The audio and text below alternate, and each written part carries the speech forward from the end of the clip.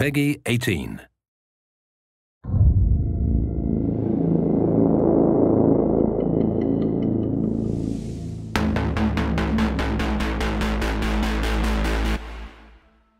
Hi everyone, I'm Ed Boon from NetherRealm Studios, here to debut a Mortal Kombat X fighter we know fans have been keeping an eye out for, Kano.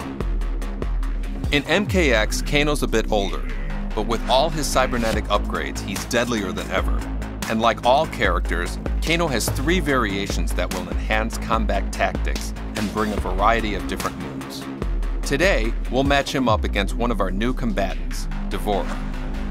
We take the fight to the jungle, ancient ruins overgrown with wilderness that was once home to a now forgotten outworld race. Kano, Hello, my lovely. you repulse us, hideous one.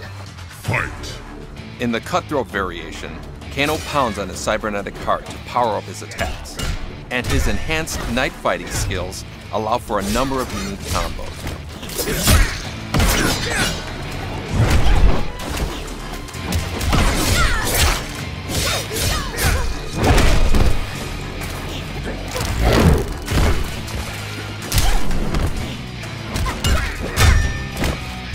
The cybernetic variation gives Kano an arsenal of eye laser and grenade attacks, allowing him to strike from long range and defend against aerial attacks.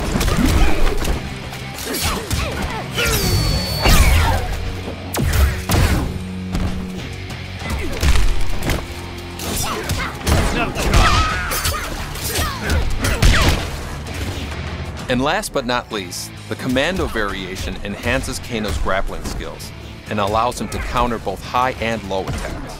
A lethal combination that both grounds opponents while overwhelming them at close range.